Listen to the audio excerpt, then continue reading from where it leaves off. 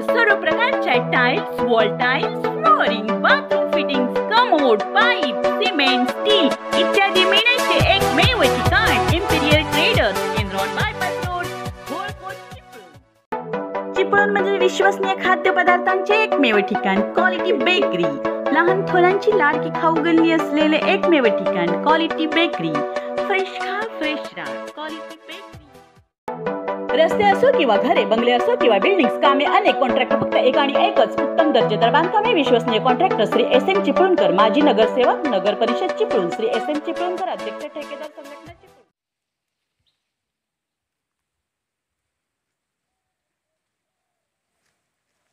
नमस्कार मी शाहिद खेरडकर रत्नागिरी वनमध्ये आपल्या सर्वांचं स्वागत करतो.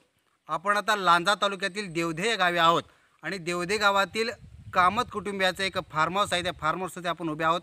याच्या पाठीमागचं कारण आहे की कोकणामध्ये पारंपरिक शेतीवरती जितका शेतकरी अवलंबून आहे मात्र आधुनिक शेती करूनसुद्धा एक चांगल्या प्रकारचं उत्पन्न घेता येतं याचं उ एक उत्तम उदाहरण उदाहरण भार्गव कामत आणि त्यांच्या कुटुंबियांनी या ठिकाणी आपल्याला सादर केलेलं आहे. भार्गवजी कामत हे गेली अनेक वर्ष या फार्म हाऊसमध्ये या प्लॉटमध्ये वेगवेगळ्या प्रकारची उत्पादनं घेतात आणि एक चांगल्या प्रकारचं शेती कशी केली जावी याचं एक त्यांनी उदाहरण त्या परिसरातील सर्व लोकांसाठी पेश केलेलं आहे. आपण त्यांच्याही संवाद साधूया आणि त्यांना विचारूया की कोणकोणती उत्पादनं ते घेतात आणि एकंदरीत त्यांचा अनुभव या शेतीबद्दलचा काय भार्गवजी कामत तुमचं रत्नागिरीमध्ये स्वागत आहे. तुम्ही थोडक्यात आमच्या प्रेक्षकांना तुमची ओळख सांगा. तुम्ही याआधी काय करत होतात आणि शेतीकडे तुम्ही कसे वळालात? नमस्कार. मी भार्गव जगन्नाथ कामत मुक्काम पोस्ट देवदे. मी अगोदर कृषी खात्यामध्ये सर्व्हिसला होतो. आणि सर्व्हिसमधून आता रिटायर झालो. आणि रिटायर झाल्यावर आम्ही हा एक छोटासा पाच एकरचा प्लॉट घेतला. आणि त्या प्लॉट पा पाच एकरच्या प्लॉटमध्ये आम्ही आता लिली लागवड त्या त्याच्यानंतर नारळ लागवड आणि नारळ लागवडीतमध्ये आम्ही लिली लागवड केली आंतरपीक म्हणून लिली लागवड केलेली आहे. आणि त्याशिवाय आम्ही चिकू लागवड थोडी आंबा आंबा लागवड व बरीचशी काजू लागवड. अशा ह्या प्लॉटमध्ये आम्ही ही पिकं पूर्ण घेतलेली आहेत. थोडा आवळा लावलेला आहे. त्याचबरोबर लिंबी लिंबिणी लावलेल्या आहेत. अशी सर्व आंतरपिकं त्याच्यामध्ये या पाच एकरच्या प्लॉटमध्ये के तयार केलेली आहेत. आणि त्याचेच मेहनत करून आम्ही आज आमचं कुटुंब उभं केलेलं आहे. त्याचबरोबर ह्या प्लॉट ज्या वेळेला आम्ही हा प्लॉट घेतला त्यावेळेला या प्लॉटमध्ये एकही झाड नसताना पूर्ण मैदान असून त्या मैदानामध्ये आज आम्ही हे रोपा बाग आम्ही डेव्हलप केलेली आहे. आणि आता जवळजवळ चोवीस ते पंचवीस वर्ष आमच्या या बागेला झालेली आहेत. आणि नारळ नारळीचं पीकसुद्धा आम्ही चांगल्या प्रकारे आज आम्हाला वर्षातून जवळजवळ एक लाख ते दीड लाख रुपये आम्ही या नारळामध्ये कमवतो. त्याच प- प्रमाणे आज आम्ही लिली लागवड केलेली आहे. त्या लिलीमध्ये सुद्धा आम्ही वर्षाला कमीत कमी लाखभर रुपये उत्पन्न काढतो. आणि तसंच आंबा लागवड आंब्यामध्ये सुद्धा हापूस आंबा आम्ही आज तयार केलेला आहे. त्याच्यामध्ये सुद्धा आम्ही जवळजवळ आज आम्ही पन्नास ते साठ हजार रुपये आता उत्पन्न काढतो.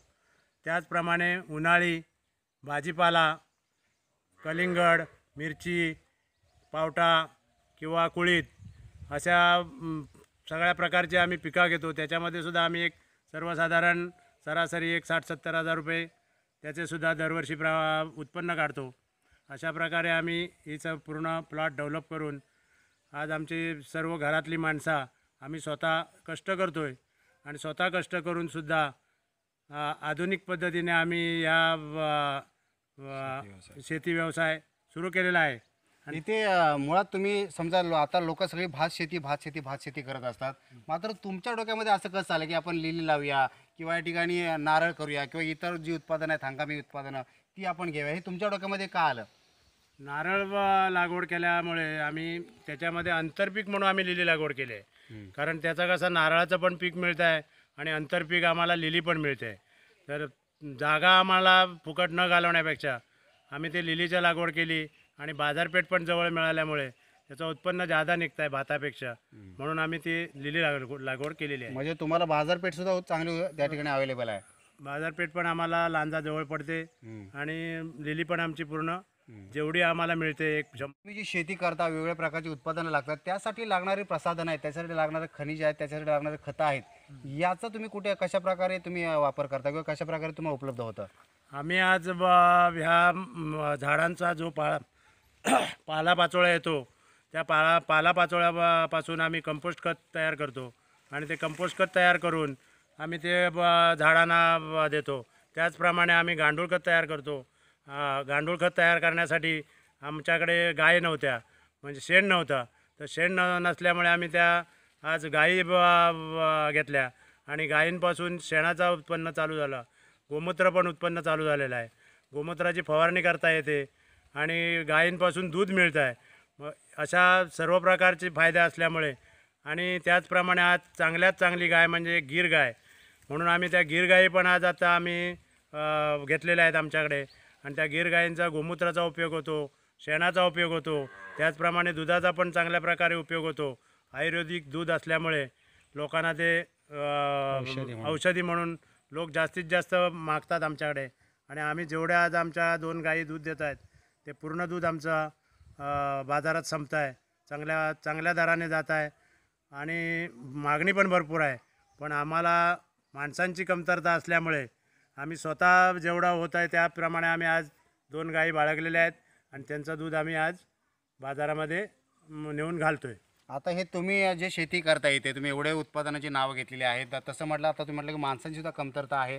एवढं सगळा डोलारा पाच एकर जमीन ज्या आहे त्याच्यामध्ये तुम्ही काजू लागवड आहे आंबा लागवड आहे किंवा नारळ लागवड आहे सुपारी आहे अशी अनेक उत्पादनं तुम्ही घेता हंगामी पिकं घेताय कलिंगड वगैरे घेताय.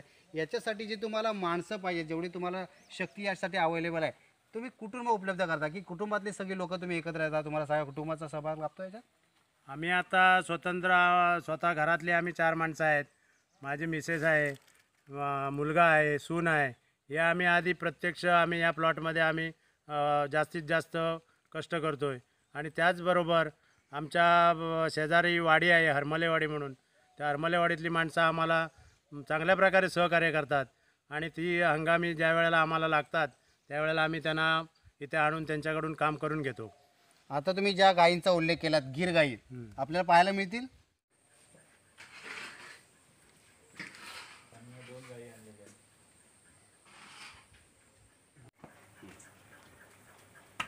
ह्या आम्ही गिरगाई घेतलेल्या आहेत आत्ता दोन गिरगाई बाजारातून आणलेल्या आहेत. आम्हाला गिरगायची गा गा गिरगाय घेण्याची जास्तीत जास्त हौस होती. कारण काय? आयुर्वेदिक दुधाचा ते पुरवठा आपल्याला मिळतो.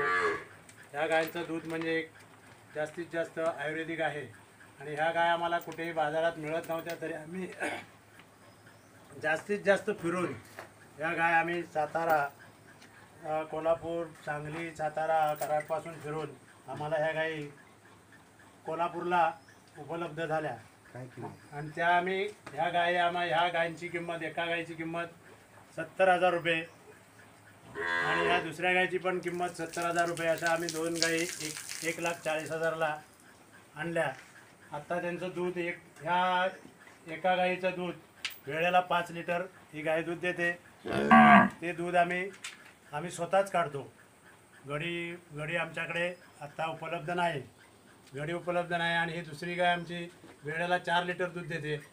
तिचं पण दूध आम्ही स्वतः मी माझा मुलगा आम्ही दोघे बसून त्याचं दूध काढतो व बाजारात पण नेऊन स्वतः आम्ही लोकांना पोचवतो पण असं वाटतं की गिर गाई या ठिकाणी पोचल्या जाणार नाही किंवा इथलं वातावरण त्यांना सूट होणार नाही. तुम्हाला काय वाटतं? इथल्या वातावरणात वातावरणाशी गाय- गिर गाई त्यांचं संगोपन होऊ शकतं? लोकांचं बरंच म्हणणं आहे की गिरगाई आपल्याकडे टिकू शकत नाहीत. अगोदर लोकांचं असं पण म्हणणं होतं की आम्ही ज्या वेळेला जर्सी गाय घेतली तर जर्सी गाय घेतली त्यावेळेला आम्ही या प्लॉटमध्ये जर्सी गाय घेऊन आलो. तर लोक म्हणत ही जर्सी गाय तुम्ही इथे कशासाठी आणलेली ह्या जर्सी गाय आमच्याकडे होत नाहीत. पण इथल्या लोकांना आम्ही पटवून दिलं आहे की जर्सी गायसुद्धा आज आम्ही एक दहा वर्ष आम्ही या जर्सी गाय आमच्याकडे आमच्या गोट्यामध्ये जवळजवळ कमीत कमी पा दोन ते चार गायी ह्या कायम असायच्या. आणि आम्ही त्याच त्या गायींचंसुद्धा आज चार ते पाच लिटर वेळेला आम्ही दूध काढायचे आणि ते पण आम्ही प्रायव्हेट उकडे लावून ते संपवायचे. आता तसंच त्याच पद्धतीत आम्ही आता डिरिंग करून ह्या आम्ही गिरगाई लोकांनी आम्हाला एका मित्राने सांगितलं की गिरगायचं उत्पन्न चांगलं आहे. म्हणून आम्ही ते सुद्धा डेअरिंग करून आम्ही गिरगाई आता बाजारातून खरेदी करून आम्ही या गोट्यामध्ये आणून बांधल्या आत्ता तुमच्यासमोरच या गाय आहेत. ह्या गायींची आता किंमत कशी आहे किंवा आज गाय कशा दिसत आहे ते तुम्ही बघताय. व त्याचप्रमाणे आज आम्ही एवढी व्यवस्था खास फॅन लावला आहे आता लाइट लावलेली आहे. खाली कोबा करून घेतलेला आहे. आणि भिंती वगैरे घालून चांगल्या प्रकारे त्यांना औषध फवारणी वगैरे वाढायला करून चांगल्या प्रकारे आम्हाला ते आता संगोपन केलेलं आहे. म्हणजे जो लोकांचा गैरसमज आहे तो तुम्ही पुसून काढलेला आहे किंवा तुम्ही लोकांना सिद्ध केलं आहे की गिर गाईचं सुद्धा या ठिकाणी चांगल्या प्रकारे आपण उत्प- उत्पन्न घेऊ शकतो त्यांच्या माध्यमातून? असं आम्ही आज लोकांना दिला पटवून दिलेलं आहे. आणि आता माझ्या पाठोपाठ सुद्धा आता या परिसरात एक दोन ते चार जणांनी गायी आणल्या आहेत मी त्यांना मार्गदर्शन केल्यामुळे त्यांनी त्या गायी घेऊन आलेल्या आहेत. त्यांच्या पण गायी आता चांगल्या प्रकारे दूध देत आहेत आणि माझ्या पण गायी आता चांगल्या प्रकारे दूध देत आहेत आणि ही हवा त्यांना आता सूट झाली. आपण आता यांच्या विहिरीजवळ आहोत. कामसाहेब तुम्ही ज्या या ठिकाणी बऱ्याच प्रकारची लागवड केलेली आहे. आणि त्या अ, सगळ्या लागवडीला इथलं पाणी पुरवता? आम्ही ज्या वेळेला हा प्लॉट घेतला तो प्लॉट घेतल्या घेतल्याबरोबर आणि पहिली आम्ही ही एक विहीर आमच्या इथे अ, खणून घेतली. या विहिरीला आम्हाला पाणी आज भरपूर मिळालेलं आहे. आणि विहिरीचं पाणी मिळाल्यामुळे आज आम्ही या विहिरीच्या पाण्यावर आज माझ्याकडे पाच एकरमध्ये शंभर सव्वाशे नारळी आणि दोनशे सुपारी त्याशिवाय आम्ही काजू दोनशे आणि आंबा कलम हापूस आंबा दोनशे आणि त्याशिवाय चिकू आणि दालचीन अशा प्रकारची लागवड केलेली आहे. त्याला सगळ्याला पाणी पुरवठा याच्यातून होतोय पाणी पुरेसा होतं इथून. हां त्याचप्रमाणे ह्या विहिरीवर आम्ही पाच एच पी तीन एच पीचा पंप बसवलेला आहे आणि त्या पंपाद्वारे आम्ही ह्या पूर्ण पाच एकरच्या प्लॉटला आम्ही हे पाण्याचा पुरवठा आमची विहीर करते. वा चांगली गोष्ट आहे. मग इथे जी तुम्ही अ, लाईटची व्यवस्था वगैरे कशी केली? काय तुम्ही ज्याला इथे प्लॉट घेतला तर लाइट नसणार? हो आम्ही ज्या वेळेला अ, हा प्लॉट घेतला त्यावेळेला इथे काही एक अ, नव्हतं. एकही झाड पण नव्हतं. आणि पूर्ण मैदान होतं. आणि त्या मैदानात आम्ही हे आज नंदनवन उभा केलेलं आहे आमच्या स्वकष्टाने. मी स्वतः हे कष्ट करून अ, व- ही लागवड केलेली आहे. त्याचप्रमाणे आज इथे लाईटची व्यवस्था नव्हती. ज्यावेळेला आम्ही हा प्लॉट घेतला त्यावेळेला लाईटची व्यवस्था नव्हती. ते पाच पोल स्वतः टाकून आम्ही हे विहिरीवर पंप बसवून घेतला. आणि घरात पण लाइट घेतली. घर आम्ही पहिला शेतघर म्हणून बांधला. शेतघर बांधल्याच्या नंतर त्या शेतघरामध्ये आम्ही जवळजवळ पाच वर्ष त्याच्यामध्ये राहून नंतर आता आम्ही एक छोटा असा स्लॅबचा बंगा बंगला पण उभा केलेला आहे. या प्लॉटमध्येच. मग त्याच्यात तुम्ही सर्व कुटुंब सगळे तिथंच राहता. आम्ही ह्या पाच एकरच्या प्लॉटमध्येच पूर्ण अ, स्वतंत्र कुटुंब आम्ही अ, या घरामध्ये राहतो. तुमचं मूळगाव कोणतं? माझं मूळगाव वाघरट. इथून आमचा तीस किलोमीटर अ, अ, लांब आहे. माझ्या घरी माझा मोठा भाऊ अ, व व भावाचा एक मुलगा ते स्वतः घरी असतात आणि मी इथे राहतो आणि माझा एक भाऊ मुंबईला असतो. एक बहीण आहे. बहीण माझी भाड्याला दिलेली आहे तेंडुलकर म्हणून. त्याशिवाय माझे दोन मुली मुली आहेत. त्या मुली मु- एक मुंबईला असते आणि एक चिपळूणला आहे. एक वागळ्यांकडे दिलेली आहे व एक गावणकरांकडे दिलेली आहे. अशा असा छोटासा कुटुंब आमचा चांगल्या प्रकारे आत्तापर्यंत आनंदात आहोत आम्ही. या शेती शेती संगोपना संगोपनातूनच आम्ही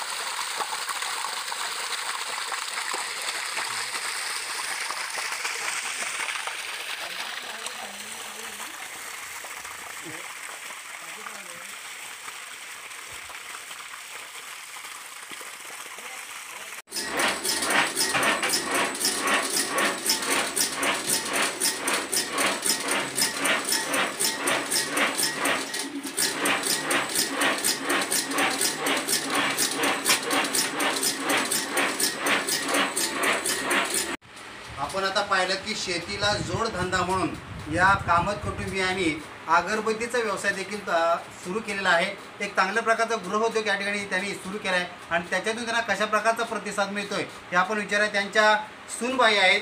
तुमचं नाव काय? दुर्वा गुरुप्रसाद कामत. ज्या स्वतः या धंद्यामध्ये लक्ष घालतात आणि स्वतः मेहनत या अगरबत्तीच्या व्यवसायामध्ये करतात. तुम्ही या व्यवसायाबद्दल काय माहिती द्याल? म्हणजे दोन महिनेच झाले चालू. मशीन याच्यामध्ये पावडर चाळून घ्यायची. आणि याच्यामध्ये फिल्टर करायची असते. म्हणजे इथे मशीन इथं जे मटेरियल आहे रॉ मटेरियल ते चाळून घ्यायचं. त्याच्यानंतर इथं मिक्स करायचं. पाणी पाणी आणि पावडर घालून याच्यामध्ये मिक्स करायची. हे मिक्सिंगचं आहे. मिक्सिंग मशीन बर. यानंतर? आणि याच्यामध्ये ही बेकिंग मशीन त्याच्यामध्ये अगरबत्ती तयार होऊन येते. जरा दाखवा पुन्हा एकदा कशी तयार होते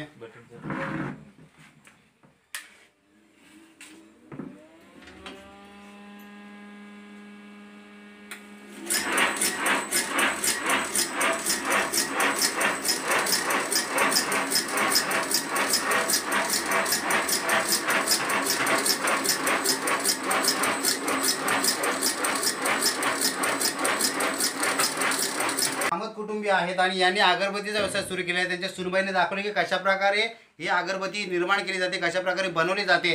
कामत साहेब तुम्ही हा नवीनच धंदा सुरू केला आहे तसं पाहायला गेलं तर मराठी माणूस हा कुठलाही उद्योगधंदा करायला धजत नाही. मात्र तुम्ही चांगल्या प्रकारचं उदाहरण सादर केले. लोकांना एक प्रेरणादायी असं उदाहरण आहे. काय वाटते अगरबत्ती व्यवसायापासून तुम्हाला किती उत्पादन होत आहे किती उत्पन्न मिळतं? आम्ही आता एक महिन्यापूर्वीच हा धंदा चालू केलेला आहे. गणपतीच्या सीझनला आम्ही अगरबत्ती बाजारामध्ये नेऊन विकायला सुरुवात केलेली आहे. आता सुरुवात केल्यापासून आम्हाला लोकांचा मागणी मिळायला लागलेली आहे याच्यापुढे. आता मागणी मिळा मिळणार मिळेल त्याप्रमाणे आम्ही ही अगरबत्ती काढणार आणि लोकांपर्यंत नेऊन पोहोचवणार आहे. साधारण दिवसाला किती किलो निघू शकते?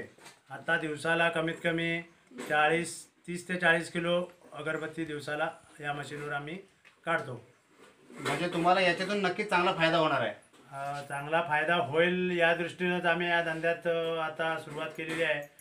लोकांचा प्रतिसाद मिळेल अशी अपेक्षा बाळगून आम्ही या धंद्यामध्ये उतरलो आहे बघूया. धंद्यामध्ये उतरूनसुद्धा एक आम्हाला क करून दाखवण्याची एक इ- इ- इच्छा आहे. बघूया. धंदा चांगला होईल अशी आमची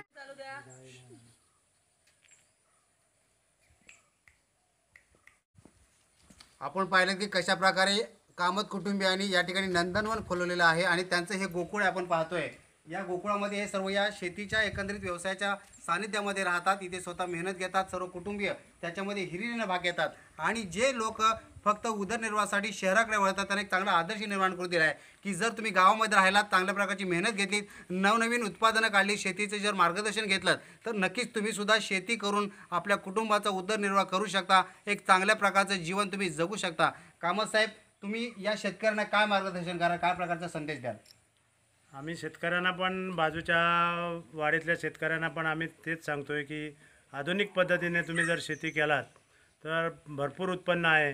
नोकरीची पण गरज नाही. पण आपण स्वतःहून त्या तनमन लावून स्वतः आपण जर त्या शेतीमध्ये जर लक्ष देऊन काम केलं आणि आधुनिक अवजारे हे सर्व प्रकारचा जर वापर करून शेती केली तर चांगल्या प्रकारे उत्पन्न आहे. नक्कीच आपण आमच्याशी संवाद साधलात. आम्ही रत्नागिरीवंत आपल्या सगळ्यांचे आभार मानतो. आम्हा आपल्याला सर्वांना पुढील वाटचालीसाठी लाख लाख शुभेच्छा देतो. हे होतं कामत कुटुंबीय ज्यांनी खरोखर चांगला आदर्श निर्माण करून दिलेला आहे. कोकणातला शेतकरी हा पारंपरिक शेती करण्यामध्येच मग्न आहे. मात्र आधुनिक शेती करून कशा प्रकारे आपलं उत्पन्न वाढू शकतो याचं उदाहरण त्यांनी पेश केलेलं आहे. नक्कीच प्रत्येक शेतकऱ्याला आपण आवाहन करूया की यांचं एक चांगल्या प्रकारचं उदाहरण आहे. तुम्ही त्याचं अनुकरण करा आणि आपलं एक जीवन आहे ते फुलवा. धन्यवाद मी शाहिद खेरडकर राजेश जाधवसह रत्नागिरीवन धन्यवाद.